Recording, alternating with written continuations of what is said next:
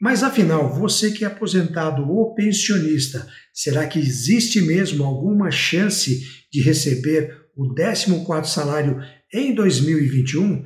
Vem comigo neste vídeo para entender esse importante detalhe, mas antes eu preciso da sua ajuda para alcançar mais pessoas. E você pode me ajudar ao se inscrever aqui neste canal caso ainda não esteja inscrito. Eu não sei se você sabe, mas tem muitos conteúdos que estão afirmando que você receberá em 2021 um 14º salário. Você quer saber mesmo se é verdade? Que a minha opinião sincera e direta é que eu vou dizer para você, olha, estou torcendo para que isso de fato pudesse acontecer, mas não há nada efetivamente aprovado, como estão propagando nestes conteúdos, que são conteúdos que estão enganando você, infelizmente gerando uma falsa expectativa, uma expectativa que pode não acontecer. Por quê?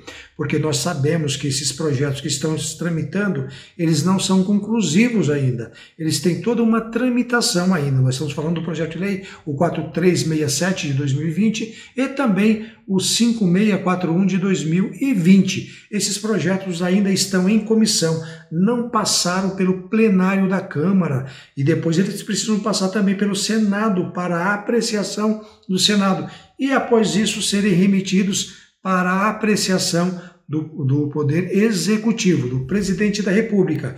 Olha só, mas antes disso nós temos uma informação agora, agora uma informação recente, uma informação recente do dia 13 de, de, de, outubro, dia 13 de outubro. Esta informação é a respeito da consultoria de orçamento e Fiscalização Financeira, lá da própria Câmara dos Deputados. Este informativo de adequação financeira e orçamentária, de número 147 de 2020, ele trata justamente do PL 4367 e do PL 5641 de 2020. E a análise final é o seguinte: o PL 46 a 4367 de 2020 e é seu apensado o PL 5641 de 2020 e o substitutivo aprovado pela Comissão de Finanças elevam a despesa pública ao ampliar o pagamento do abono anual com a instituição de mais uma parcela até o exercício de 2023. É o que está aprovado neste projeto nas comissões. Todavia, nenhum dos, das proposições está acompanhada da estimativa do impacto orçamentário e financeiro.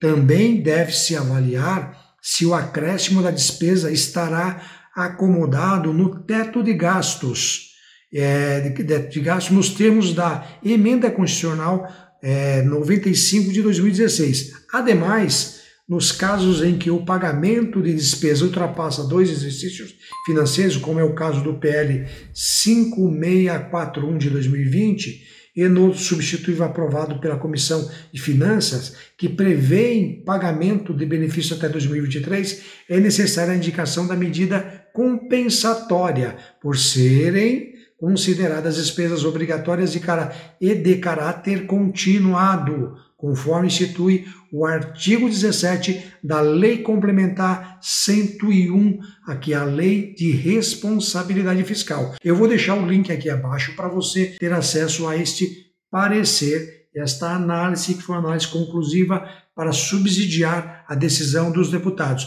Esta matéria, quando for encaminhado para o plenário da Câmara, acompanhará esta análise que foi emitida pela Consultoria de Orçamento e Fiscalização Financeira da própria Câmara dos Deputados. E desta forma nós sabemos que ela já está apontando aqui os dispositivos infringidos pela, por, esta, por esses projetos. Nós temos aqui de fato uma grande dificuldade de ter aprovação no plenário da Câmara. E mesmo que seja aprovado no plenário da Câmara, sendo superados esses pontos que foram ap apresentados aqui nas análises, nós teremos que ter também a aprovação no Senado e depois também a aprovação lá pelo presidente da República. Sabemos que se o presidente eventualmente vetar, o Congresso Nacional, formado pelos deputados e senadores, tem a prerrogativa de derrubar o veto do presidente, mas eu acho pouco provável que isto aconteça dentro do contexto que nós temos hoje. Então, para ser muito responsável com você, para que não gere uma falsa expectativa,